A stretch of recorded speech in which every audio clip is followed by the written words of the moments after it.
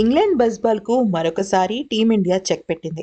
రాజ్కోట్ వేదికగా జరిగిన మూడవ టెస్ట్ మ్యాచ్లో నాలుగు వందల ముప్పై నాలుగు పరుగుల తేడాతో టీమిండియా భారీ విజయాన్ని అందుకుంది. ఐదు వందల యాభై ఏడు పరుగుల భారీ లక్ష్య ఛేదనలో ఇంగ్లాండ్ నూట ఇరవై రెండు పరుగులకి కుప్పకూలింది.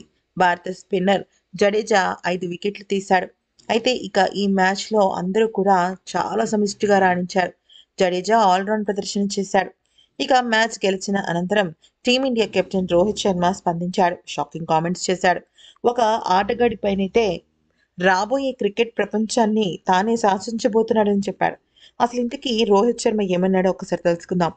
టెస్ట్ మ్యాచ్ అనేది రెండు మూడు రోజుల్లో ముగిసేది కాదు.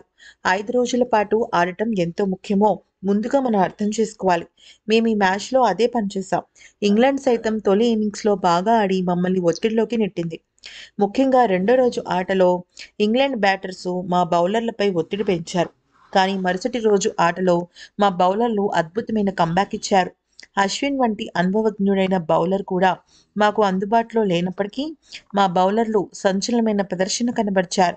వారి ప్రదర్శన చూసి చాలా గర్వపడ్డాను. ఇక జడ్డు తన క్లాస్ను మరొకసారి చూపించాడు. జడేజా బంతితో పాటు బ్యాట్తో కూడా రాణిస్తాడని మేము ముందే ఊహించాం. సర్ఫరాజ్ అరంగటంలోనే ఆకట్టుకున్నాడు. అతడు బ్యాట్తో ఏం చేయగలడో మనందరం ఈరోజు చూసాం ఇక సెకండ్ ఇన్నింగ్స్లో జైస్వాల్ శుభమన్ గిల్ అద్భుతమైన ప్రదర్శన కనబరిచారు. వారిద్దరూ మాకు కావాల్సిన ఆధిక్యాన్ని అందించారు. జైస్వాల్ గురించి ఎంత చెప్పుకున్నా తక్కువే. అతడు ఒక అద్భుతం. ఇదే విషయంపై చాలాసార్లు ఇప్పటికే చెప్పాను. అతడు తన కెరియర్లో అద్భుతంగా ఎదుగుతాడు. యశస్వి భవిష్యత్తులో ఖచ్చితంగా వరల్డ్ క్రికెట్ను శాసిస్తాడు.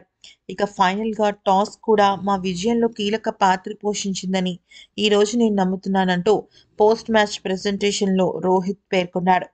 ఇక యశస్విని ఆపటం ఎవరి తరం కాదు అన్నట్టుగా రాబోయే అన్ని సిరీస్లో ఖచ్చితంగా యశస్వి ఉంటాడు అని చెప్పకనే చెప్పాడు. ఈ వీడియో కనుక నచ్చితే లైక్ షేర్ అండ్ సబ్స్క్రైబ్.